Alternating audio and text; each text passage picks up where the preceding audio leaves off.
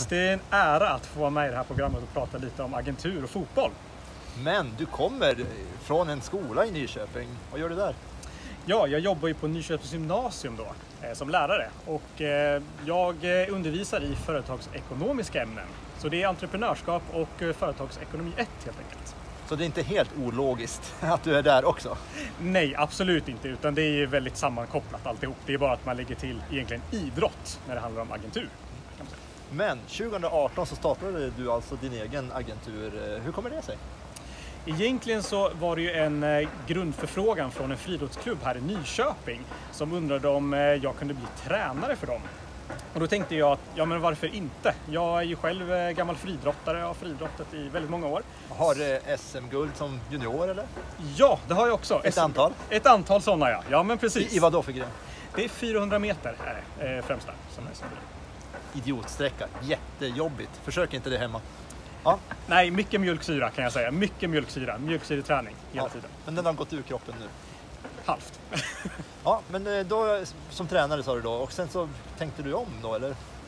Ja men precis och sen så när jag hade drivit eh, företaget eh, i början av 2018 där, så eh, tänkte jag att fotboll har ju alltid varit en del av mitt liv också. Jag har spelat fotboll sedan jag var liten knatte egentligen. Och då tänkte jag fotboll och eh, ekonomi, eftersom jag har en ekonomiutbildning i grunden som företagsekonom då, så tänkte jag att den kombinationen verkar ju otroligt, otroligt spännande. Så eh, då vill jag ge mig in i den branschen. Du är ju alltså registrerad förmedlare hos Svenska Fotbollförbundet. Och vad, vad, krävs för att man ska bli det och ha rätt att eh, men visa spelare till rätta liksom, och signera kontraktet? Det som krävs är att man eh, skickar in vissa intyg då till förbundet eh, där man säkerställer att man följer förbundets eller Fifas reglement som de har satt upp helt enkelt för fotbollsagenter eller förmedlare helt enkelt. Där. Mm. Sen Men det krävs det... utbildning då förstås? Ja, det krävs en viss utbildning. Så. Det finns ju förmedlare som är advokater i vanliga fall. Det finns förmedlare som likt jag då har gått sportsmanagement på högskolenivå då, och är utbildade företagsekonomer inom idrott. Så. Eh, det som är viktigt att tillägga är att det finns flera olika steg eh, som förmedlare. Som jag nu, jag är ju registrerad förmedlare hos Svenska Fotbollsförbundet. Men man kan även bli certifierad förmedlare. Och eh, skillnaden mellan de två är egentligen att som certifierad förmedlare via Fotbollsförbundet så får du förhandla kontrakt med ungdomar som är mellan 15 till 18 år.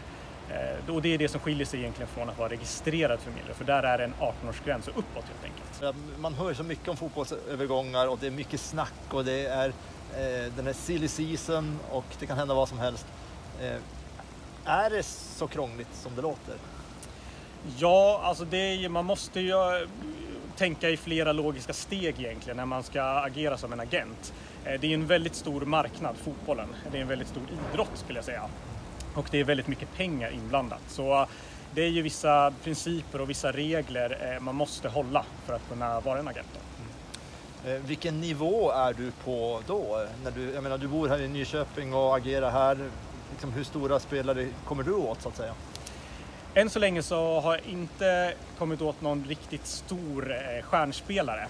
Men eh, absolut, jag har kontakter eh, som har stjärnspelare egentligen, proffs, professionella fotbollsspelare då, som behöver ha provspel från andra klubbar och så. Det, där är jag med och hjälper till. Men det har väl också krypit ner i serierna, liksom att intresset att åka utomlands och sådär finns väl även där och att man har möjlighet? Ja, det är jättevanligt att man vill bli ungdomsproffs eh, och nu för tiden så har vi ju hur många olika scouter som helst världen över. Så eh, möjligheten till att flytta utomlands i väldigt ung ålder är eh, ganska hög faktiskt, måste jag säga. Vad tycker du då är det viktigaste som du kan erbjuda i, i ditt jobb som, som agent eller förmedlare? Då?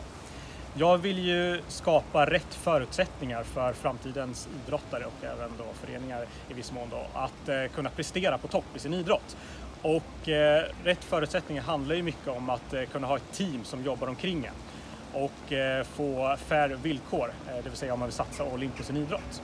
Och det är väl främst det som är eh, mitt mål då med företaget, att eh, kunna erbjuda rätt förutsättningar för idrottare som vill framåt, som vill något i sin karriär. Och eh, vad bör eh, idrottarna själva tänka på då innan de anlitar en agent? De bör ju tänka lite mer på hur är jag som fotbollsspelare och vilka mål har jag? Målsättningar är otroligt viktigt inom all idrott.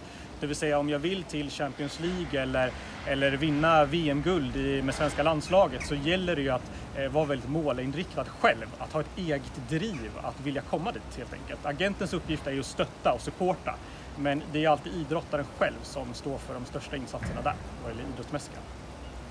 Och vad vill du säga åt de som eh, tycker att det här med fotbollsagenter, ja men det, de vill alltid sko sig själva också i första hand? Det finns alltid eh, sådana personer i agentbranschen som vill sko sig själva. Men eh, jag tror man kommer längst genom att vara lojal och ärlig helt enkelt och hålla sig till reglerna helt enkelt. Och vad är din bästa egenskap skulle du säga i det här fallet? Min bästa egenskap är nog att jag är väldigt eh, lojal i det hela. Jag vet värdet av förtroende och eh, jag brinner verkligen för att eh, få fram ungdomar, eller unga idrottare i sina karriärer och vara med och eh, stötta helt enkelt och supporta det.